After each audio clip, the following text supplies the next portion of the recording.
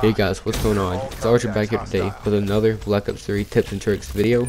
Today we're going to be going over what is, in my opinion, the best specialist to use while playing Black Ops 3.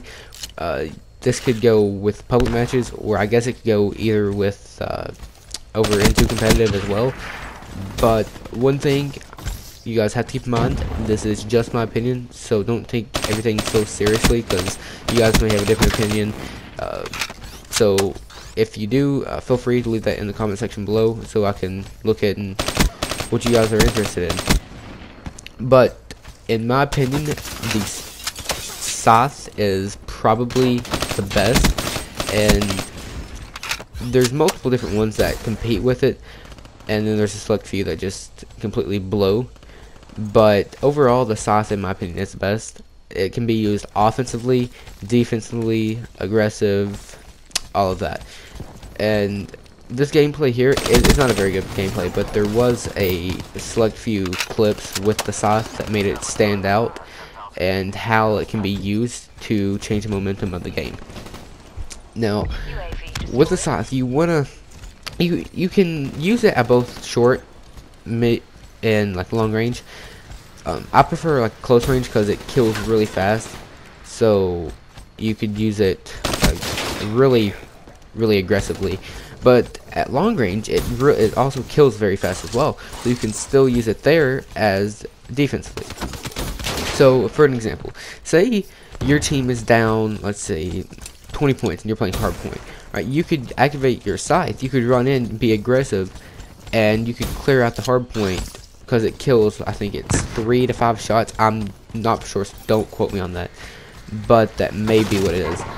So, and that attack could benefit you. But if you're playing defensively, you're trying to control the hill, you can activate it, and you would sit up, post up, and just defend. So that's what I like about this. You can't do that with all specialists, which is why this one stood out to me. Another reason I like the Scythe is because it's within the Reaper class, and while you're using the Reaper, your footsteps are actually very quiet. It's actually the hardest to hear if you're playing against it. So that's another thing I like because I do get sound horde a lot, and Dead Silence is a perk I do use on just about every class while I play Search and Destroy and this is one of the specialists that I use while playing search. So that's a benefit there because I don't always have to use dead silence. That now we're coming up here on the clip in which I use this to be aggressive. Now we're up by five kills, and I know there's people here. And right here, you're gonna see me.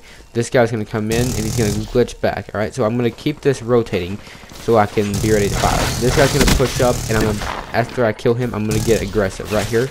You see I'm to post up, then I'm to push. I push with my teammate, then I'm to see this guy here. Now you're to see where it's effective at long range.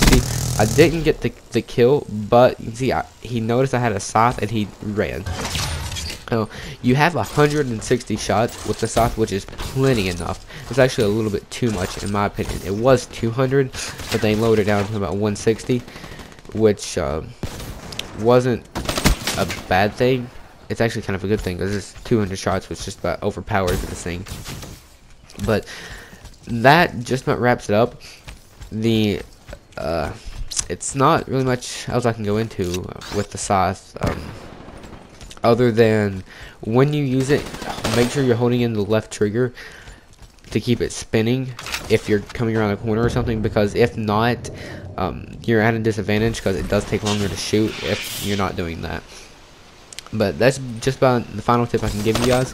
I hope you guys have enjoyed. I hope you can learn to use the Scythe, get better with it, um, and use it to your full advantage. Uh, so that, it's been Archer, guys, and uh, hope you guys have a nice day, and peace.